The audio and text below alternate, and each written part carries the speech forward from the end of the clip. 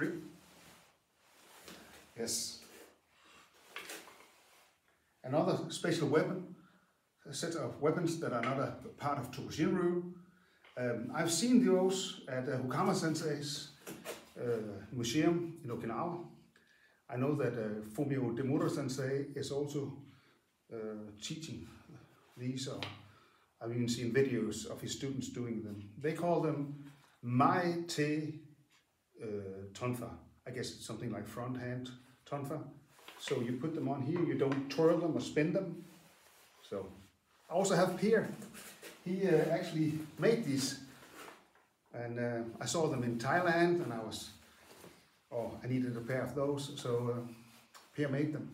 So it's, uh, we'll just show a few techniques here. So here, if you get in the kamae. So yeah, let's go a little bit closer. So yeah, so you strike down here and I can strike, but I can also do this and hit or even turn it like this.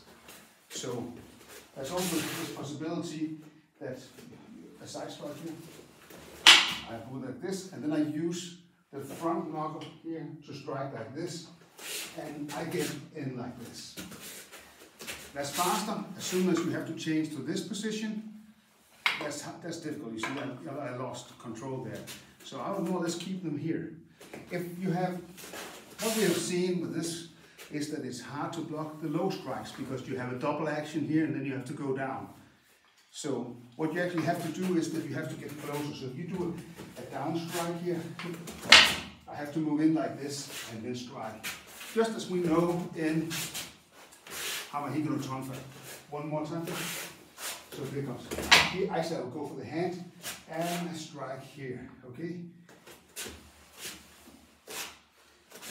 So yeah. Just have a look at them. So we have a leather strap here and these, and they're not straight in line. Quite a weapon to work with. Thank you. Okay.